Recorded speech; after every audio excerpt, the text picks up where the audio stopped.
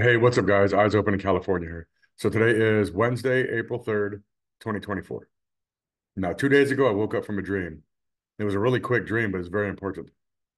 So the dream goes like this. In this dream, I'm having a debate with somebody, and they're telling me everything in the Bible is true. And I'm saying, no, it's not. The Bible is a book. It can be edited by anybody. And they're like, no, everything in the Bible is true. It's the uncorrupted word of God. And I said, no, it's not. And they said, give me an example. And I said, the book of Leviticus. They said, yeah. I said, it's mostly demonic. And they said, what are you talking about? I said, Leviticus 1, satanic. Leviticus 2, satanic. Leviticus 3, satanic. And then there was like a time lapse. And I said, Leviticus 18, hatred. Leviticus 19. And then I woke up. And that was the end of the dream. So I was basically giving the one word summary of each chapter. And that's what I was given to that person. This is like my third dream telling me that the book of Leviticus is mostly demonic. So um, that that was the end of the dream. So everybody out there who's who's who thinks that everything written in the Bible, um, like those things that they think they came from God, they, they did not a lot of the things written in the Bible are the commandments of men. That's why Jesus said, You're teaching for doctrines the commandments of men. And Jesus said it himself. So um, real quickly, let me let me share my screen. I want to show you something. So this is uh, Leviticus chapter 1. And the Lord called unto Moses and spake unto him out of the tabernacle of the congregation, saying, Speak unto the children of Israel, and say unto them, If any man, if any man of you bring an offering unto the Lord, ye shall bring your offering of the cattle, even of the herd, and of the flock. And if his offering be a burnt sacrifice of the herd, let him offer a male without blemish. He shall offer it of his own voluntary will at the door of the tabernacle of the congregation before the Lord. Satanic.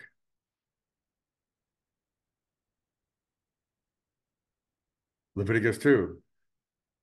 And when any will offer a meat offering unto the Lord, his offering shall be of fine flour, and he shall pour oil upon it and put frankincense thereon.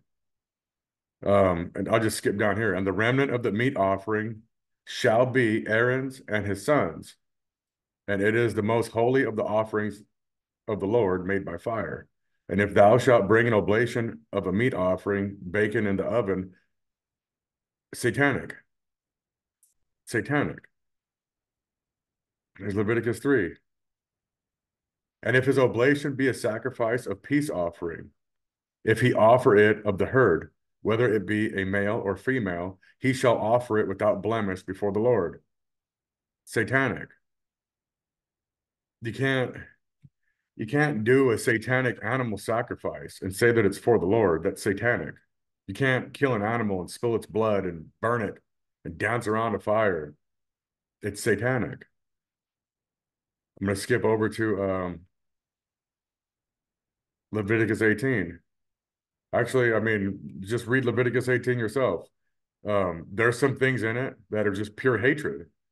And and the church has taken some of these things and just created hatred towards their neighbor about some of these things. And um it's uh let me skip down here. Where is that?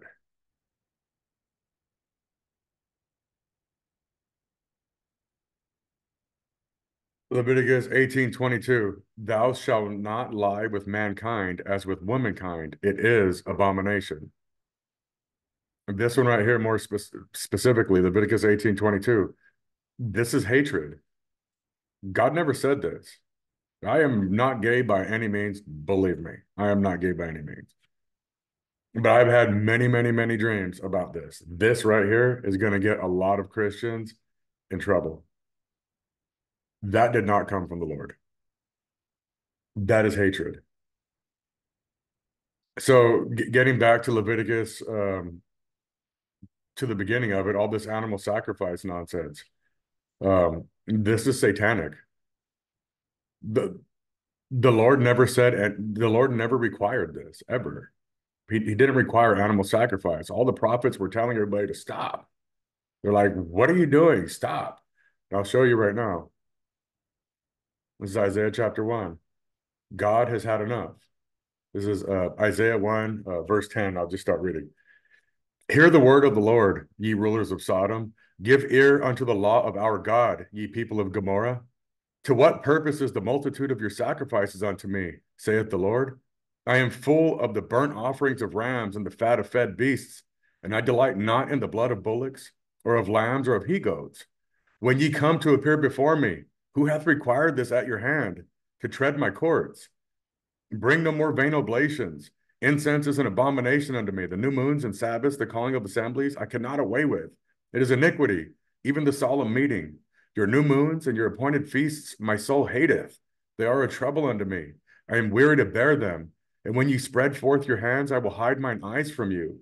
Yea, when ye make many prayers, I will not hear. Your hands are full of blood. Wash you, make you clean Put away the evil of your doing from before mine eyes. Cease to do evil. Learn to do well. Seek judgment. Relieve the oppressed. Judge the fatherless. Plead for the widow. Come now and let us reason together, saith the Lord. Though your sins be as scarlet, they shall be as white as snow. Though they be red like crimson, they shall be as wool. So the Lord was speaking through the prophet Isaiah. He was saying, Stop doing this and it's satanic. You can't you can't kill an animal and offer it to something that's that's satanic. So not everything in the Bible is of God. A lot of those things are are the commandments of men. A person said that God wanted animal sacrifice. God never said that. So let me just give you an example. And I'm not, I'm not saying throw the baby out with the bathwater because it says in Exodus, look, the Lord didn't come to start Christianity. He came to straighten out Judaism. The Lord was a Jew. He didn't come to start a new religion. Paul's phony baloney nonsense started a new religion. The Lord came to straighten out Judaism. But the Lord the look, it says in Exodus, eye for eye, tooth for tooth, hand for hand, and foot for foot. It says in Leviticus, breach for breach, eye for eye, tooth for tooth. As he, as he hath caused a blemish in a man, so shall it be done to him again. It says in Deuteronomy, and thine eye shall not pity, but life shall go for life, eye for eye, tooth for tooth, hand for hand, foot for foot. This is what it says in the Old Testament right?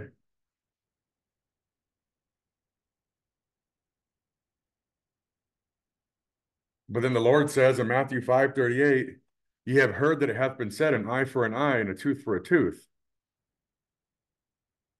But I say unto you, that ye resist not evil, but whosoever shall smite thee on thy right cheek, turn to him the other also. So the Lord referenced this whole eye for an eye thing that was mentioned in the Old Testament, but he straightened it out. He straightened it out. Do you get what I'm saying? He came to straighten out what people had wrong in Judaism. He didn't come to start Christianity. Um, Paul started his own thing, but the Lord didn't come to start Christianity. He came to he came to put to to to to right the wrong things. He came to put the wrong things in the correct place. Do you get what I'm saying? So when the Lord references something from the Old Testament, he's straightening it out. He was like, I never said an eye for an eye. Do you get what I mean? So um so anyways, that's that, right? And then um in Leviticus 19, this is where the Lord first said, Thou shalt not avenge, nor bear any grudge against the children of thy people, but thou shalt love thy neighbor as thyself. I am the Lord. So in these Old Testament scriptures, there are bits of truth. This is Leviticus 19. Love thy neighbor as thyself. And this is um this is what the Lord says. Ye have heard that it has been said, Thou shalt love thy neighbor and hate thine enemy. But I say unto you, love your enemies, bless them that curse you, and do good to them that hate you, and pray for them which despitefully use you and persecute you, that ye may be the children of your Father which is in heaven. For he maketh his sun to rise on the evil and on the good, and sendeth rain on the just and on the unjust. So let me quit sharing my screen here for a second. So this is what I dreamt. Just to recap real quick, or really quickly. Um, I was having a conversation with someone. I told them not everything in the Bible is true. Not not everything that people are believing is came from God. That there's a lot of commandments of men in there, and you need to be able to differentiate between the two, between what is of God and what is of man. Now, I showed you Isaiah 1. Clearly, all of these rules and things regarding animal sacrifice did not come from the Lord. Because the Lord said, To what purpose is the multitude of your sacrifices unto me? That's what he said in Leviticus 1 or in uh, Isaiah 1. So Leviticus 1, satanic. Leviticus 2, satanic. Leviticus 3, satanic. Leviticus 18, hatred. And, and, and in the dream, I was I was giving the one word, um, basically like bottom line per chapter. So uh, I've had a dream about Deuteronomy um, that, that dream was uh, everybody was in a prison and they were on they were on some sort of a carousel. And in order to partake in that carousel, in order for them to clip you so you could walk on the carousel, you had to have read Deuteronomy. And once people got clipped onto the carousel, they turned into a cow. Um, God has been showing me this um, for many years that there's there's many there's many deceptions in these scriptures, and so um, I just want to tell you the truth was written on your heart. It says it says in the Old Testament that uh, the Lord will come and make a new covenant with the people, and He will write the law on their heart.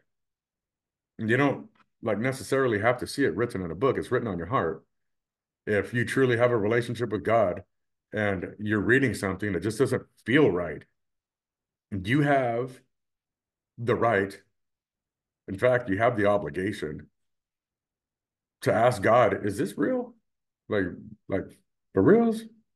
I'm supposed to believe that? You can ask God that. You're not going to offend God. God is a creator of heaven and earth.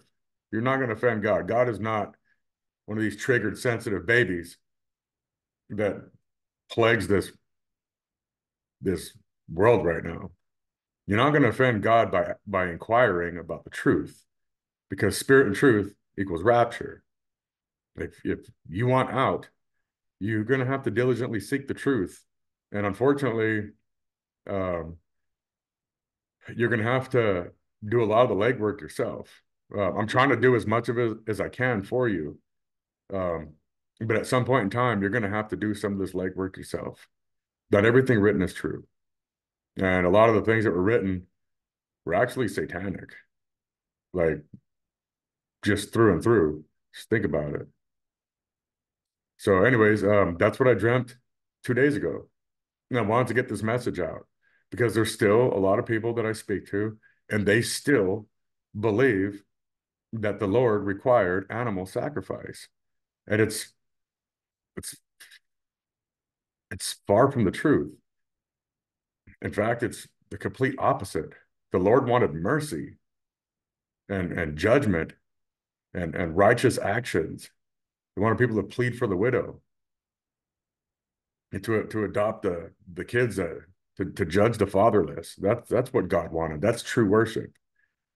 So there's one more thing i want to show you give me one second. I'm gonna I'm gonna research this. Um, um, just give me one second. I'll be right back.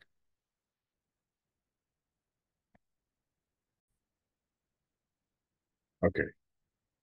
So I got that. Let me share my screen one more time. I'm going to pull up something from the Gospel of the Holy Twelve. It's very important that you understand the the the point of this video. This is um, Gospel of the Holy Twelve, lection 33. By the shedding of blood of others is no remission of sins. Jesus was teaching his disciples in the outer court of the temple, and one of them said unto him, Master, it is said by the priests that without shedding of blood there is no remission.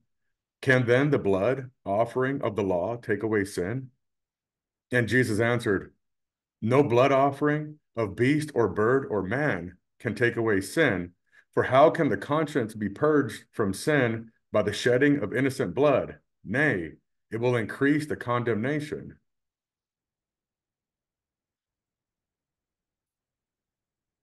So, this also is a book.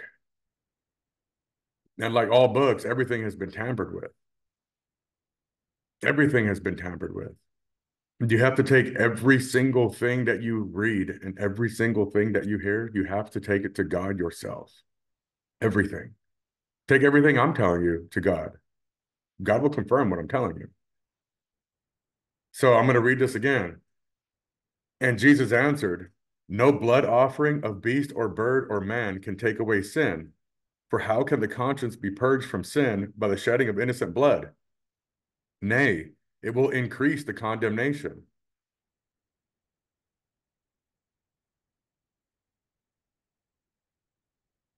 So that's what the Lord said. Personally, I lean towards that last bit where it says, "No offering of man can um, can take away your sin." I think somebody threw that in there, to be quite honest with you, because um, in a separate dream, I was told it was a really quick dream. I was told this: Many men have been crucified, but only one paid for our sins. So obviously, the Lord paid for our sins. But, anyways, um, what I'm trying to tell you is this everybody wants to have this security blanket. You want to have this this this assurance.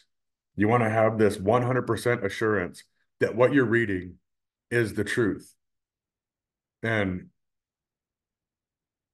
if it's in a book, it's already been edited. People have already had the ability to add stuff and alter stuff and and change stuff. And that's why you have to have a relationship with God. Having a religion is not going to get you anywhere. You have to have a relationship with God. Take everything you read, take it, and ask God about it.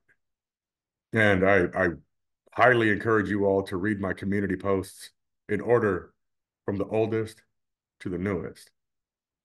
Read them, shake your head up and down if you agree, or shake your head side to side if you disagree. I really don't care, but read it and then take it to God. And then when God confirms it, then shake your head up and down because that is the truth. God has been trying to show people the truth for thousands of years, but nobody's listening. I know this video is starting to get long, so I'm gonna I'm gonna cut it short. But I want to tell you, I want to I want to finish with with this final thought. Everybody right now says that they worship Jesus, right? They say that if they had lived in the days when Jesus walked in earth, that they too would have been a devout follower of the Lord. But I don't believe that's the case at all. Because I've had many, many, many a conversation with many, many, many a Christian. And they all say, no, the Bible's the uncorrupted word of God. You can't say anything that contradicts the Bible. And then I say, well, if you were alive back in the days when Jesus was alive, would you have believed him? And they said, yeah. And I said, how do you know? How could you be so sure that you would have followed the Lord? How could you be so sure that you would not have been one of those people who yelled, Crucify him, crucify him? Because one of the things that they accused the Lord of was preaching against the scriptures. he the scriptures that he was preaching against are the things that men had altered. And the Lord was trying to bring everybody back to the truth, and they got mad at him for it. And right now, at this very time, God is showing people the truth.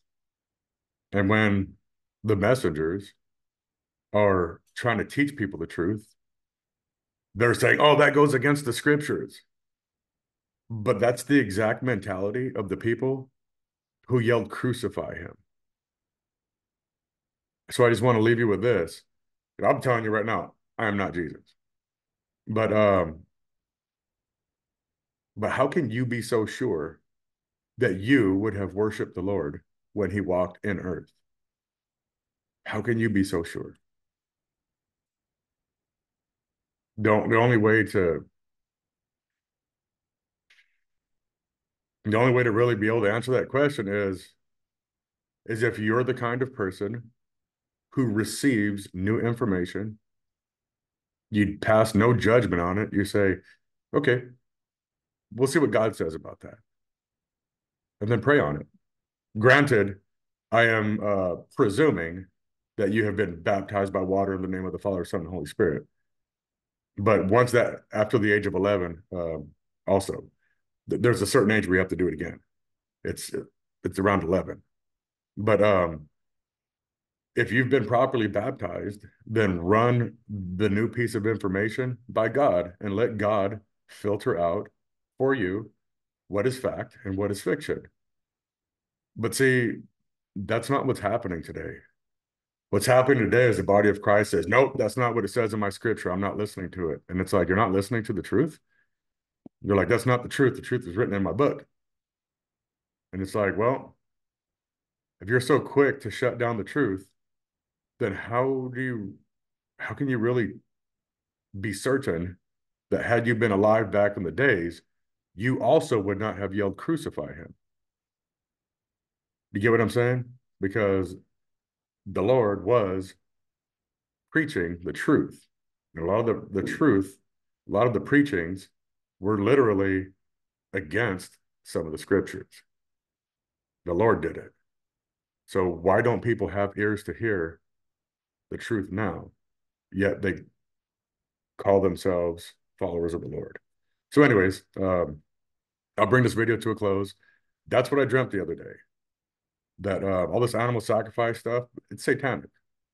And um, there's a lot of there's a lot of hatred in the church because of some of the things that are written and some of the things that are written they didn't come from god. I'll, I'll just leave you with this and I, I, I i'm going to sound like a broken record. I've had many many many dreams about this and granted i'm not gay by any means in no way shape or form am i gay but god showed me this like so many times it's it's it's, I'm sounding like a broken record, but I'm going to end with this. One would do far better on the day of judgment if they were gay and a good Samaritan and a good neighbor than if they were straight and a bad Samaritan and a bad neighbor. Love covers a multitude of sins. So don't let what's written in Leviticus 18 um, cause you to hate because you're just going to get yourself in trouble believe me when I say this, if some someone who lives an alternative lifestyle worships God and loves God with all their heart and they love their neighbors as themselves, they're going to do just fine.